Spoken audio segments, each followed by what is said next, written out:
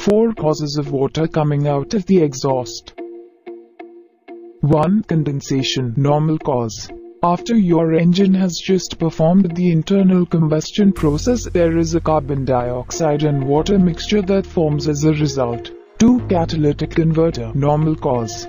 When the exhaust system emits toxic carbon gases, the catalytic converter is responsible for reducing the size of these gases before they come out from the tailpipe. This allows the vehicle to be more environmentally friendly while reducing the risk of harming other people in the process.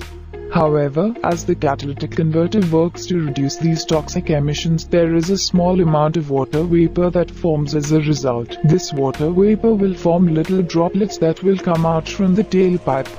3. Engine heat normal cause.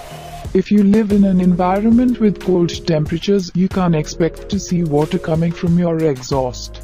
The components of an engine normally need a little bit of time to let the oil circulate through them in order to cool them down.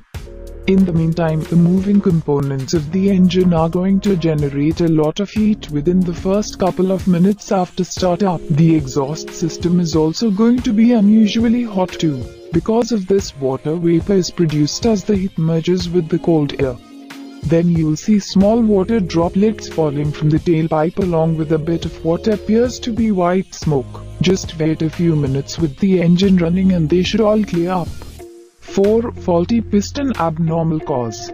It can be serious when a bad piston is causing water to come from your tailpipe. You'll know if the pistons or its rings are the cause because you will also see smoke come out of the tailpipe in addition to the water. If it is really bad, then a burning smell will fill the interior of the cabin. Either that or it might be a sweet aroma that would indicate an even bigger problem. So, if you experience any strange smells along with smoke and water coming from your tailpipe, then don't drive your vehicle. Have it towed to an auto repair shop and have them confirm it's your pistons and or piston rings and replace if necessary.